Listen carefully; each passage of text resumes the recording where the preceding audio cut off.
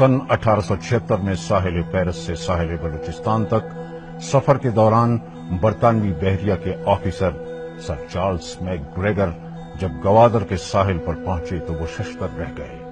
وہ اپنی کتاب وانٹنگ آف بلوچستان میں لکھتے ہیں، گوادر کے ساحل کو بہت خوبصورت پایا، جسے چار سو اسی فٹ اونچے کوہ مہدی اور سفید چٹان نما پہاڑی سلسلے نے اپنے حصار میں لے رکھا ہے۔ بظاہر یہ بلوچ ماہی گیروں پر مشتمل ایک چھوٹا اور پسماندہ قصبہ ہے۔ لیکن میں امید کا اظہار کرتا ہوں کہ یہ مستقبل میں اہم تجارتی مرکز بنے گا۔ چھ سو کلومیٹرز لمبی یہ ساحلی پٹی مکران کوسٹ کا حصہ ہے۔ لفظ گوادر کے دو حصے ہیں گوا اور در۔ گوا کا مطلب ہے ہوا۔ یعنی ساحلی ہوا اور در دروازہ، ساحلی ہوا کا دروازہ۔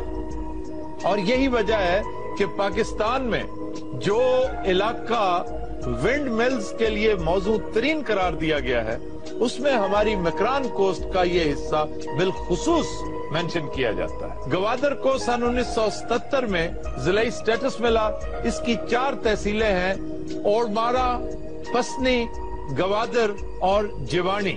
گوادر کا علاقہ چونکہ کلات کا حصہ تھا، خان آف کلات نے اس علاقے کو مسکت کے سپرد کر دیا۔ اس کی وجہ ایک شادی تھی۔ خان آف کلات کی بیٹی کی شادی مسکت کے شہزادے سے ہوئی اور کہا جاتا ہے کہ یہ علاقہ خان نے جہیز میں دے دیا۔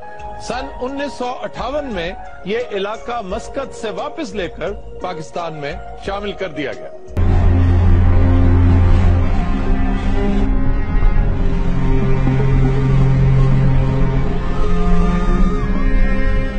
نو گیارہ کے نتیجے میں جب امریکہ افغانستان میں دہشت گردی کے خلاف جنگ میں مصروف تھا، تو حکومت پاکستان نے سن دو ہزار دو میں چین کے ساتھ گوادر بندرگاہ کی تعمیر کا معاہدہ کیا۔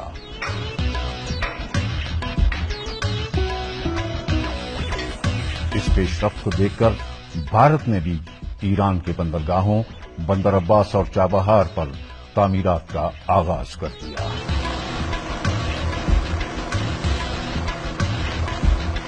چین اور پاکستان نے دسمبر دو ہزار چھ میں گوادر بندرگاہ اور کوسٹل ہائی وے کی تعمیرات کو پائے تکمیل تک پہنچایا۔ پچھلا چند برسوں میں پاکستان کے کس شہر نے ترقی کے نئے ریکارڈ قائم کیے؟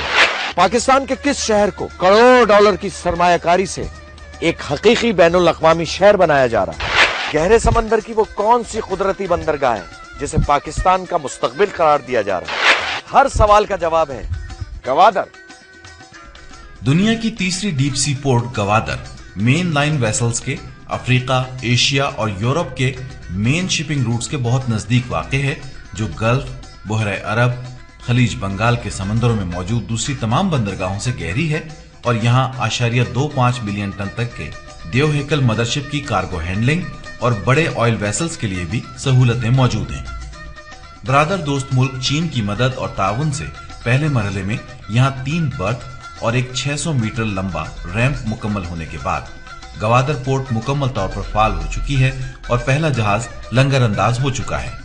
اگلے مرحلے میں دو ہزار دس میں آٹھ سو چالیس ملین ڈالر کی لاگت سے گوادر پورٹ کی مزید دس برتھ مکمل ہونے کے بعد گوادر علاقے کی مصروف ترین بندرگاہ اور ایک اہم بین الاقوامی صنعتی اور تجارتی مرکز کے طور پر پاکستان کی معیشت، ترقی اور خوشحالی میں اہم کردار ادا کرے گا۔ کے تحت گوادر شہر کی تعمیر و ترقی، شہر کے ہر علاقے تک آسان رسائی کے لیے شاہراہوں کی تعمیر، اس شہر کو انویسٹر اور انوائرمنٹ فرینڈلی بنانے کے لیے سرمایہ کاروں کو سہولیات، رہنمائی اور مدد فراہم کرنے کے لیے گوادر ڈیولپمنٹ اتھارٹی کا قیام عمل میں لایا گیا۔ گوادر میں انفراسٹرکچر کی تعمیر و ترقی تیزی سے جاری ہے، جس کی بدولت گوادر میں نئی تعمیرات اور نئے ڈیزائن کی رہائشی اور کمرشل بلڈنگز جگہ جگہ نظر آنا شروع ہو گئی ہیں۔ گوادر کی مرکزی جامع مسجد کی تعمیر بھی جاری ہے، جو ایک ملٹی سٹوری کمپلیکس ہے اور اس میں تقریباً سات ہزار نمازیوں کی گنجائش ہے۔ گوادر میں روایتی اور غیر روایتی تعلیمی اداروں کی تعمیر اور اپ گریڈیشن بھی کی جا رہی ہے۔